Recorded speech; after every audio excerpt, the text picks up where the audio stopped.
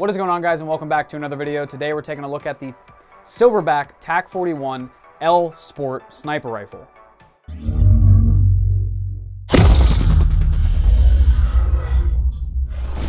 So if you guys have been playing Airsoft for a long time, you've probably seen your fair share of snipers on the field.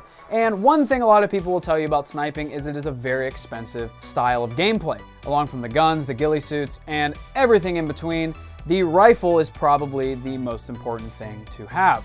Now, Silverback is known in the industry for some very high performing sniper rifles that come with a very high performing price tag. Now, Silverback approached this a little bit different with the L Sport and has introduced a sniper with very, very high performance at a very, very affordable price.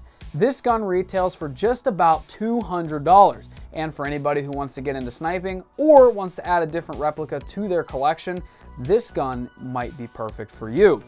Anybody getting into sniping is probably going to want to hear the specifications about the internals. The Silverback L Sport features a T6 aluminum anodized bolt and features an adjustable trigger with a sturdy stainless steel trigger group. It also has a very easy to maintain internal cylinder so you can make sure your gun stays clean and functioning properly. Speaking of the cylinder, it also has a very large volume of air at 41 cc's, similar to the famed Silverback SRS. So you're getting a very similar performing rifle for a significantly lower cost. You also have a top-down center hop-up in this rifle. Gives you 50 clicks of adjustment so you can precisely dial in your hop-up with shooting different weights of BBs. This is very important for a sniper rifle as you want those very consistent shots one after the other. Then moving a little bit further up front, you have a 24 millimeter threaded barrel, so you can attach a lot of different silverback suppressors already on the market.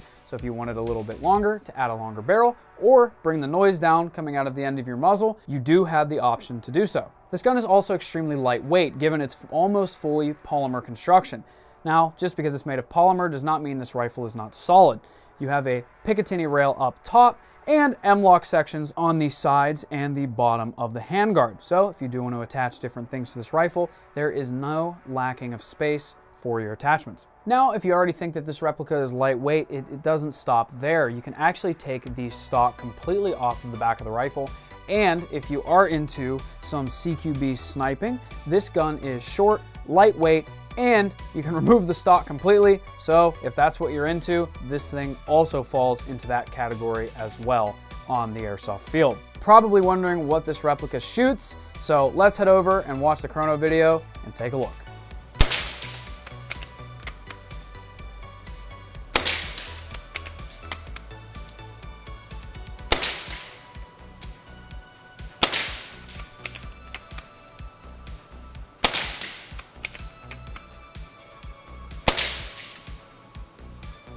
And last but not least, this gun does feature a 48 round magazine, which is a very impressive capacity for a sniper rifle with a 20 BB feed ramp that loads the BBs from the magazine into the hop-up. Now that does transition into the one con that I do have with this replica, which is when the magazine is out of BBs and there's no tension pushing up into this feed tube, the BBs can free float inside of the replica and personally that's kind of annoying for some users, but overall, as long as you're inserting a fresh mag after it, you'll be okay. But if you're completely out in your magazines, you'll have 20 loose BBs floating around inside of the gun. Now let's take a look at some of the gameplay with the L Sport. And we are not outside, we are inside of the Amped Airsoft Arena for some CQB sniper gameplay. Hey,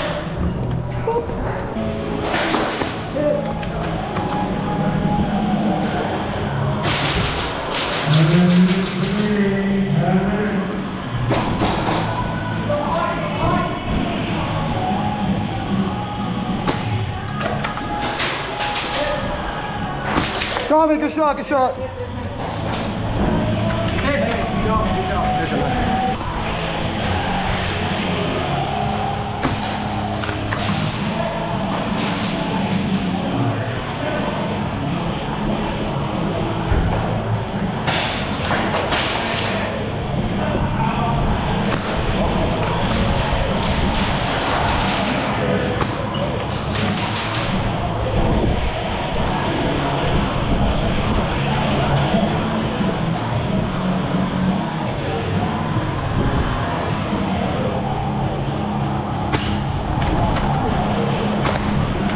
Job. got it there, you got it there.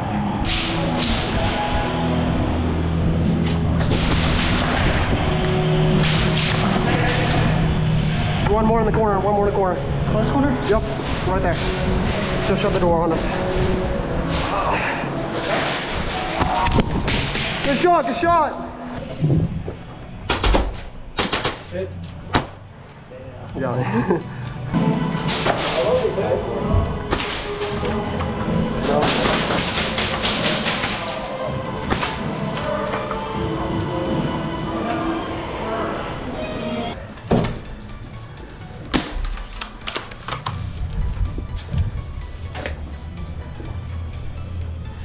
So I hope you guys really enjoyed the video of the Silverback L Sport. This is a very, very cool rifle to be coming to the market and allows a lot of people to get into sniping or give it a try without breaking the bank. What do you guys think of the Silverback? Do you think this is a viable option for someone getting into sniping? If you're an experienced sniper, let us know your thoughts and what you think that this gun could be improved on or what they should sustain. We like seeing new stuff, but we like hearing your feedback even more. So thank you guys so much for watching, and we will catch you in the next one.